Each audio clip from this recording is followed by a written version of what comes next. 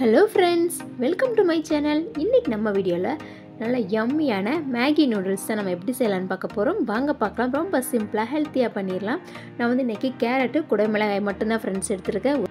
தாளிக்கிறதுக்கு எண்ணெய் சேர்த்துக்கலாம். அப்புறமா நம்ம பூண்டு சேர்த்துக்கலாம். ஒரு நாலு பல் பூண்டு கொ சிறு துண்டு இஞ்சி எல்லாத்தையும் கட் பண்ணி கொஞ்சம் கொஞ்சமாக சேர்த்துக்கலாம்.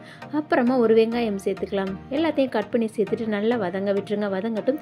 இப்போ நம்ம கட் பண்ணி வச்சுருக்கிற வெஜிடபிள்ஸ் சேர்த்துலாம். கேரட் குடை மிளகாய் ரெண்டு தான் ஃப்ரெண்ட்ஸ் சேர்த்துக்கிறேன். நீங்கள் மற்றது எதுனாலும் சேர்த்துக்கலாம். முட்டைக்கோசி இல்லை அதனால நான் வந்து சேர்க்கலை. எல்லாத்தையும் சேர்த்துட்டு நல்லா கலந்து விட்டுருங்க. நம்ம எல்லாம் நல்லா ஒன்று போல் நமக்கு ஒரு ஒரு நிமிஷமாவது இருக்கணும். ஸோ அந்த மாதிரி நல்லா ஓரளவு பாதி அளவு கிட்ட நமக்கு வேகட்டும். இப்போ நம்ம தண்ணி ஊற்றி மேகி நூடுல்ஸ் ரெடி பண்ணிடலாம். அதுக்கு முன்னாடி வீடியோவை ஸ்கிப் பண்ணாம பாருங்கள் ஏன்னா நான் உள்ளே நிறைய மசாலா சேர்த்துருக்கேன். நமக்கு அந்த மசாலாவோடு இல்லாமல் வீட்டு மசாலாவும் கொஞ்சம் சேர்த்தோம் அப்படின்னா டேஸ்ட் இன்னும் சூப்பராக கூடுதல் டேஸ்ட்டில் இருக்கும்.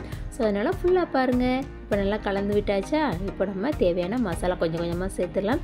நான் வந்து இன்றைக்கி மேகி நூடுல்ஸ் வந்து நாலு பேக்கெட் உள்ளதை எடுத்திருக்கேன் ஃப்ரெண்ட்ஸ் இந்த காய் வதங்குற அளவுக்கு லைட்டாக உப்பு சேர்த்துக்கலாம் ஃபஸ்ட்டு அப்புறம் நான் மறந்துடுவோம் ஏன்னா காய் நிறைய சேர்க்குறதுனால நம்ம கொஞ்சம் உப்பு சேர்க்கணும். அப்போ தான் நல்லாயிருக்கும். இப்போ நம்ம காயும் சேர்த்து நல்லா கலந்து விட்டுருங்க. எல்லா பக்கம் நல்லா ஒன்று போல் ஈவனாக மிக்ஸ் ஆகட்டும். இப்போ நான் வந்து பாக்கெட் மசாலா மேகியில் கொடுத்துருக்கேன். அந்த மசாலாவை ஃபுல்லாக ஆட் பண்ணிக்கிறேன். நான் வந்து நாலு பாக்கெட் செய்கிறோம் ஸோ அப்போ நாலு பாக்கெட் ஃபுல்லாக சேர்த்துக்கலாம். இது ஃபுல்லாக சேர்த்து நல்லா நம்ம கலந்து விட்டுருங்க. மிக்ஸ் ஆகட்டும். நம்ம அதுக்கப்புறமா கரம் மசாலா நீங்கள் நார்மலாக வீட்டில் யூஸ் பண்ணுற கரம் மசாலா வந்து நான் ஒரு டேபிள் ஸ்பூன் அளவு ஃபுல்லாக சேர்த்துக்கிறேன்.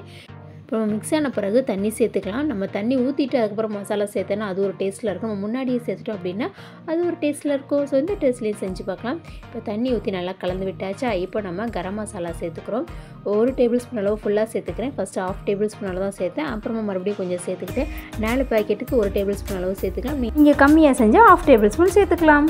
இப்போ தண்ணி நல்லா கொதிச்சு வந்துட்டு இப்போ நம்ம நூடுல்ஸை இதோட சேர்த்துடலாம்.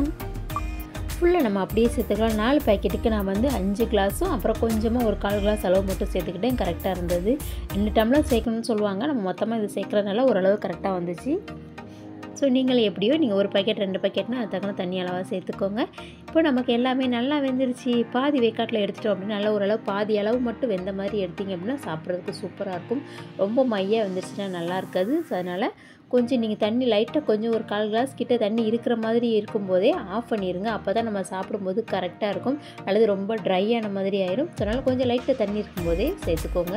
இப்போ நான் இதில் என்ன பண்ண போகிறேன் அப்படின்னா நான் வந்து டேட்ஸ் சட்னி சேர்க்க போவேன் பானிபூரி இன்றைக்கி செஞ்சோம் இல்லையா? அதில் கொஞ்சம் பேலன்ஸ் மிச்சம் வச்சிட்டோம் நிறைய சாப்பிடல. சரி நீங்கள் அதோட கொஞ்சம் சேர்த்து பார்க்கலாமேட்டு சே சேர்த்துக்கிட்டேன். டேஸ்ட் ரொம்பவே சூப்பராக இருந்துச்சு. அந்த டேட்ஸ் சட்னி நமக்கு அந்த டொமேட்டோ சாஸ் வரதான் ஸ்மெல் வந்துச்சு. ஸோ நீங்களும் டொமேட்டோ சாஸ் இருந்தால் சேர்த்துக்கலாம் அல்லது இந்த மாதிரி சேர்த்துக்கலாம்.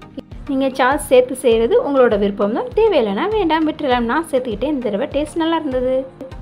நமக்கு இப்போது சூப்பரான நூடுல்ஸ் ரெடி ஆயிடுச்சு. ஹோட்டல் டேஸ்ட்டில் செம்மையாக இருந்துச்சு ஃப்ரெண்ட்ஸ் இந்த டேஸ்ட் இன்றைக்கி ரொம்பவே வித்தியாசமாக இருந்துச்சு ஃப்ரெண்ட்ஸ் நீங்களும் சேர்த்து பாருங்கள் நீங்கள் சாஸ் சேர்க்கல அப்படின்னா நீங்கள் கரம் மசாலா கண்டிப்பாக சேர்த்து பாருங்கள் டேஸ்ட் இன்னும் கூடுதல் டேஸ்ட்டில் சூப்பராக இருக்கும். எல்லோரும் ரொம்பவே விரும்பி சாப்பிடுவாங்க. இந்த மாதிரி நீள் நிலமாக சாப்பிடும்போது குட்டி சாப்பிட்றதுக்கு ரொம்ப ஈஸியாக இருக்குது எங்கள் பாப்பாவுக்கு இந்த மாதிரி குட்டி நீள் நிலமாக போட்டால் சாப்பிட்றதுக்கு ரொம்ப பிடிக்கும். அதனால தான் நான் அந்த மாதிரி சேர்த்துட்டேன். நீங்கள் உங்களோட விருப்பத்தக்கனா சேர்த்துக்கலாம். ஓகே ஃப்ரெண்ட்ஸ் பாய் நெக்ஸ்ட் வீட்டில் மீட் பண்ணலாம். Thank you friends thanks for வாட்சிங்